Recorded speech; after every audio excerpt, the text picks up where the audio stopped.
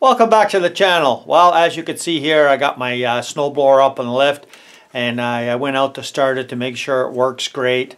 And uh, guess what happened? Bang! This thing just snapped like a pretzel. I mean, for something that's uh, from 1994, well, you could expect it, right? So what am I going to do? Well, I went online and see how much one of these uh, snowblower uh, pull cord handles are. 20 bucks. I said, uh-uh, I don't think so. Uh, plan B, we're going to use a shovel. Well, this is what we're going with, a shovel handle. I mean, uh, it's going to work, right? So we just get the shovel handle here, and uh, we're just going to drill a little hole in there. So we'll just feed it in there.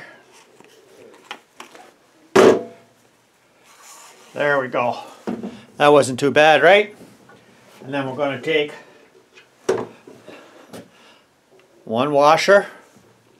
And then we're going to take another washer. Now that's just so that it doesn't pull through, right?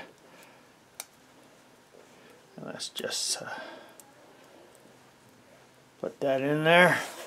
Okay, now we're going to make one of these fancy knots where the tighter it pulls, see if I can show this here.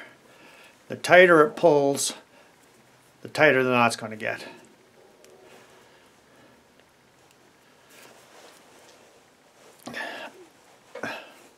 So there's a knot there.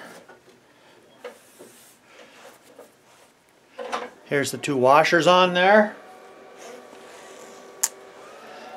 There it is right there. Let's see what it looks like on the blower. Okay, is that slick or what? And it just fits right over top of this collar.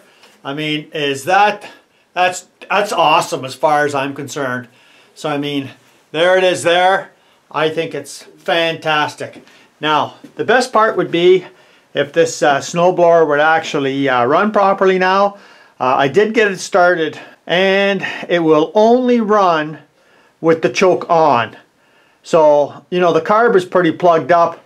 I don't know what I'm going to do, whether I'm going to put a new carb on or clean it. Stay tuned. I think I'll be working on that next. If you haven't seen this channel before, you're welcome to subscribe. Come back again and see some interesting things you may not see somewhere else. Cheers.